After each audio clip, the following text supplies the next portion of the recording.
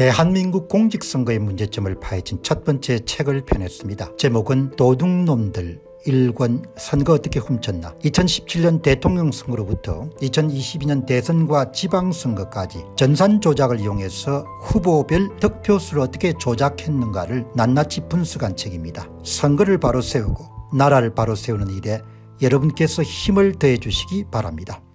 자 다음 여러분 보시게 되면 서울의 봄 이 영화가 상당히 이제 흥행을 하는데 이거를 이제 조선일보에 아주 자주 글을 쓰시고 서울대 언론학과 이름 교수로 계신 분이 이 영화가 여당에 대해 상당한 심각한 그런 경고 메시지를 담고 있다 이런 이야기를 하기 때문에 제가 이제 그 칼럼을 보고 칼럼에 대해서 좀 이견이 있어서 말씀을 드리는 겁니다. 이제 이 윤성민 교수 조선일보에 아주 꾸준하게 여러분들 칼럼을 쓰는 조선 칼럼의 주요 기사 이 저 칼럼 기고자입니다. 이제 여기 이분의 핵심은 1979년도 12월 10일에 벌어진 이 군사 반란이 사, 보통 사람들이 여러분들 영화를 보게 되면은 윤석열 정부와 감성적으로 연결 짓고 있다. 이렇게 이해하는 거 이건 난 동의하기 힘든데 그러니까 1979년도 12월 12일은 군부 독재고 이 지금 윤 교수 말씀은 지금은 검찰 독재다 이렇게 아마 본인이 받아들이는 모양입니다. 밑에 댓글 보니까 보통 시민들이 그 점에 대해서 굉장히 비난을 많이 해놨네요. 필자 주변 사람들의 상당수는 뭐 본인이 만나는 사람들은 그렇게 생각할 수도 있겠죠. 시대의 간극을 넘어서 되살아난 분노를 윤석열 정부에 투사하고 있다. 검사 출신의 인사를 좀 많이 했지만 지금이 뭐 이렇게 윤 정부가 그렇게 힘이 없지 않습니까 군부의 군부 독재하고 검찰 독재를 이렇게 바로 비교하는 거가 밑에 독자들의 어마어마하게 여러분들 비난하는 부분 가운데 하나인데 윤석열 정부가 반민주적이라고 느끼는 국민들이 늘고 있다. 이게 사실입니까? 나는 그 이제 칼럼을 쓰시는 분들이 또 칼럼이란 그 자체가 어차피 자기 주관을 이름 담으니까 생각은 자유지만 이런 의견이 이제 동참하기가 굉장히 힘든 거죠. 근데 이제 제가 여러분들 속이 좀 불편했던 것은 민주주의 이 네 글자가 우리 국민에게 의미하는 바는 더 강조할 필요가 없을 것이다. 필자는 그 한 글자 한 글자에 눈시울이 뜨거워진다. 아니 민주주의 그 이런 네 글자의 눈시울이 떠, 떠, 이 여러분들 뜨거워지는 서울대 언론학과 교수가 지금 민주주의 이런 위기의 가장 진원제는 선거 부정이 있는데 거기에 대한 단 한마디도 않고 윤석열 정부와 반민주적이고 검찰 출신을 요직에 등용하고 있다. 그런 정도 시각을 가져도 되겠습니까 에라 인간들아 이런 생각이 드는 겁니다. 너가 진짜 뭐 나라가 다음에 어려워지면 너도 다 뭡니까 기여한 거다. 무엇과도 바꿀 수 없고 누구도 훼손할 수 없는 절대 가치가 민주주의다. 그래 그렇게 절대 가치인 민주주의가 최대 지금 위기에 처했는데 부정선거는 입도 한마디 뻥긋 안한 게 있어요. 검찰 독재를 하는 뭐 윤석열이 어떻다 이렇게 이야기하면 어떻습니까 이게 지금 대한민국의 이런 식자층들이 갖고 있는 문제의식의 상당 부분을 드러낸 겁니다. 이제 국민의 마음은 싸늘하게 식어가고 있다.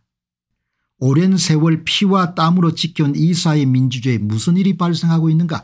내가 이런 민주주의 이야기를 본인이 안 했으면 은 그냥 이렇게 뭐 이거를 가지고 이렇게 질타할 필요가 없는데 너가 민주주의 이야기를 하면 선거 부정에 대해서 이야기하지. 어떻게 윤석열 정부가 어떻게 반민주적인 정부다. 이렇게 이야기를 할 수 있냐 이야기죠. 자 여러분들. 며칠 전에는 외무부 장관을 지냈고 서울대법 정치학과 교수를 지냈던 양반이 이런 무너진 민주주의에 대해서 제가 질타를 했지 않습니까 민주주의 이 네 글자가 우리 국민에게 의미하는 바는 더 강조할 필요가 없을 것이다. 필자는 그 한 글자 한 글자에 눈시울이 뜨거진다. 눈시울이 그렇게 뜨거워질 정도면 대학 교수가 선거 문제를 언급해서 카, 당신 칼럼에 한 번이라도 언급해 줬으면 내가 이런 말 안 한다 이야기죠. 완전히 나라가 어떻게 이렇게 저질화돼 버렸는지 민주주의의 눈물이 날 정도고 민주주의 네 글자의 눈시울이 뜨거울 정도면 그러면 뭡니까 민주주의 최대 위기가 지금 여러분들 공직선거 부정선거니까 그 문제 우회적으로라도 한번 이야기를 해야 되잖아요. 어떻게 사람들이 이렇게 비겁하냐 이야기죠. 응? 어떻게 사람들이 이렇게 사냐 이야기죠. 너그런 새끼들이 없냐 너그런 자식들이 없냐 이야기죠. 하, 여러분 정말 내가 내가 오늘 이 칼럼 보고 하도 기가 차가지고 이제 국민은 되묻는다 뭐 그다음에 뭐뭐 이런 주저리 주저리 이름들 이야기 나온 것은 언급할 필요가 없을 겁니다. 여기 한 분이 이렇게 이야기했습니다. 서울대학교의 언론정보학 교수란 사람이 서울의 봄 흥행을 정치 및 선거와 관련한 민심으로 직결시키고 소위 검살 독재 프레임을 군부 독재 같은 반민주적 형태로 단순한 과정이 놀랍다. 민주당의 악의적 프레임이 서울대 교수에게도 아무 의심 없이 먹힌다는 것이 믿기지 않을 정도다. 그가 하던 모든 예시에 대해 반박할 수 있지만 그렇게 한들 무슨 소용이 있을까 암담할 뿐이다. 이런 교수가 여러분들 조선일보의 아주 중요한 칼럼 여러분들 기고자인 겁니다. 제가 참 너무나 의의가 없어 가지고 야 어떻게 글을 이렇게 글을 이런 거를 쓰냐 그 양반이 여러분들 예, 최소한 양심이 있으면 이 보시기 바랍니다. 이게 의정부 시갑에 예? 2016년 총선의 차이값 사전투표 득표율 빼기 당일 득표 득표율 2020년 4.15 총선의 차이값 2020년 4.15 총선에서 발견한 조작값을 이용해 가지고 조작되지 않는 상태로 여러분들 모두 다 원위치시킨 다음에 구한 차이값 그래프가 가장 오른쪽에 있는 않습니까 이게 선거입니까 이거는 선거가 아니잖아요. 2020년 4.15 총선이 선거가 아니지 않습니까 여기 차이값 크기 보시기 바랍니다.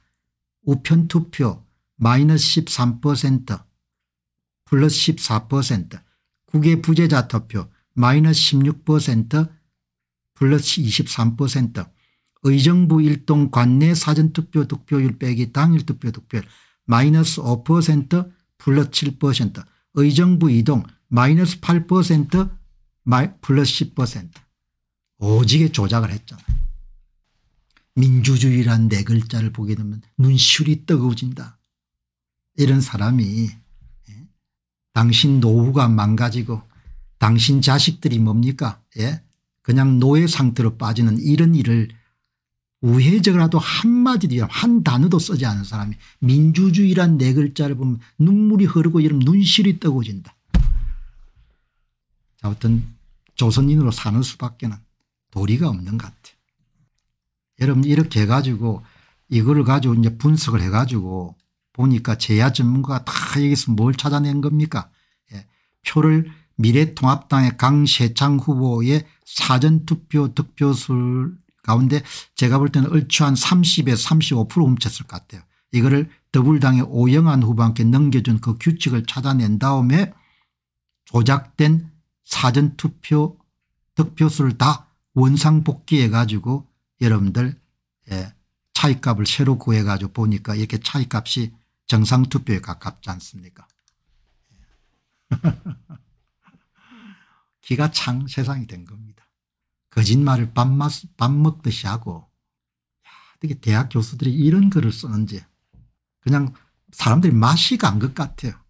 사실이고 진실 따위는 아무 이런 필요 없고 그냥 자기 꼴리는 대로 이야기하는 세상이 돼버린 겁니다. 그래도 그냥 분노할 게 아니고 조목조목 따져서 예, 옳고 그런 것을 구분해야 되는데 참 정말 형편없는 여러분들 글입니다. 이런 글을 써가지고 민주주의 이 네 글자가 우리 국민에게 의미하는 바는 더 강조할 필요가 없을 것이다. 필자는 그 한 글자 한 글자에 눈시를 뜨고진다. 무엇과도 바꿀 수 없고 누구도 해소할 수 없는 절대 가치다. 부정선거를 직접 다루기 힘들면 은 선거 공정성에 대한 우려가 있으니까 이런 칼럼을 한 번이라 써야 되는 거죠. 다 비겁함에 대한 대가를 두고두고 지불할 겁니다.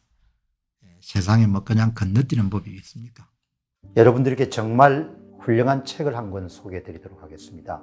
김동주 박사님 역사학과 신학에 대한 상당한 조회를 가지신 분이 26년 동안의 연구를 총집결한 책이 바로 기독교로 보는 세계 역사란 책입니다.